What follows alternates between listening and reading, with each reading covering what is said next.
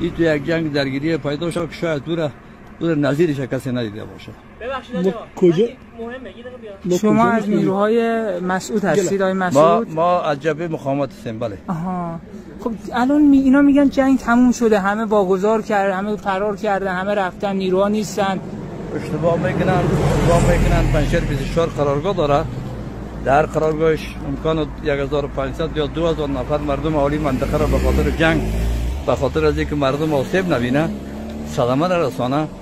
دیگه احمد مسعود مردم را تخلیه کرده منتظر یک جنگ سخت باید باشن یعنی میگن جنگ تازه شروع شده؟ جنگ تازه شروع میشه. ممکن شروع شد ممکن یک روز بعد دو روز بعد یک پیام.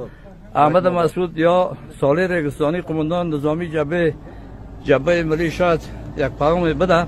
و مردم همون ساعت جنگ در بودن. خب شما تو تجهیزات ضعیفتر از اینها نیستید؟ ما اگر تجهیزات زی- سلاح ثقیل نداریم و با جنگ شریکی سخت رو برویشان می‌سازیم. تو کوهستان ها؟ آه. تکتیک بهترین پهلوان و میدان و معروفه است. میایم دشمن را می‌زنیم پس عقب نشینی می‌گیریم. که شروع میشه عملیات؟ او او منتظر هدایت است. آقای مسعود هنوز تو منطقه است؟ آه من است. در جای مسون است. در جای مسون است. هر وقتی قماندان دادم روز ما جنگ در میده. احسن. خب اه، چ- نه، ما تو مسیر شما چند تا خودروی فکر کنم برای طالبان بود منفجر شده بود یا مثلا هدف قرار گرفته بود. اینها رو شما کجاها نبرد شروع کردین؟ یعنی کمین به اینا زدید یا نزدید؟ چون به نظر خیلی راحت اومدن تو شهر. تا حال دشمن در حالت تهاجم بود. ما در حالت دفاعی بودیم. هر وقتی که دشمن در حالت دفاعی قرار گرفت ما در حالت طرز میریم.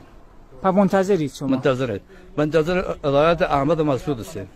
این رهبر جبهه مقاومت. گفته میشه که جنگنده های پاکستانی یا پهپادهای پاکستانی حمله کردن به آه. شما. جب جنگنده های پاکستانی چند روز قبل خطوط مدافع جبهه ملی را ابده جدش بمبارد کرد. اصلا اگر پاکستانی ها خط اول ما را نمی زدن جبهه نمیشه. خب شما رو تو کجا زدن؟ تو کوهستان یا تو شهر؟ دان تنگی. یعنی تو کوهستان آه، زدن توی کوهستان.